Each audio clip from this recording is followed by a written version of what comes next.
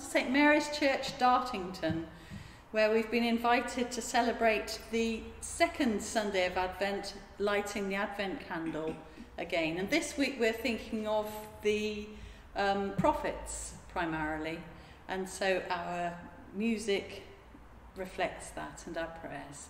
And we're joined again today by Liz Waterson, who is here to light the candle with us. So begin with our Advent wreath prayer, which you'll see on the screen in bold. Lord Jesus, light, of the world, the prophets said that you would bring peace and save your people in trouble. Give peace in our hearts at Christmas and show all the world God's love. Amen. Liz, light the candle.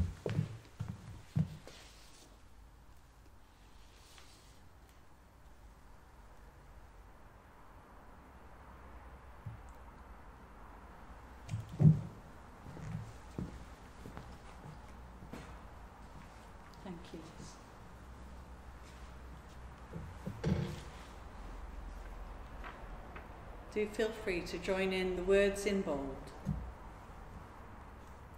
Heavenly Father, you call us to repent of our sins, soften our proud and stubborn hearts. Lord, have mercy. Lord, Lord have, have mercy. mercy. Lord Jesus, you declared the forgiveness of God.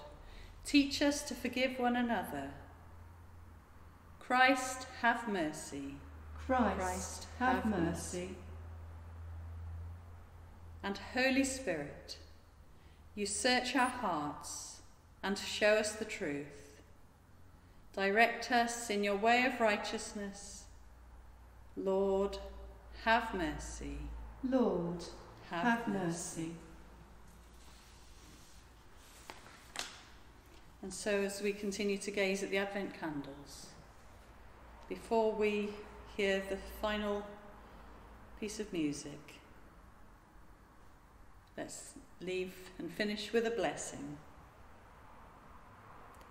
God of the watching ones, the waiting ones, the slow and suffering ones, the angels in heaven, the child in the womb, give, give us your benediction, your good word for our souls that we might rest and rise in the kindness of your company.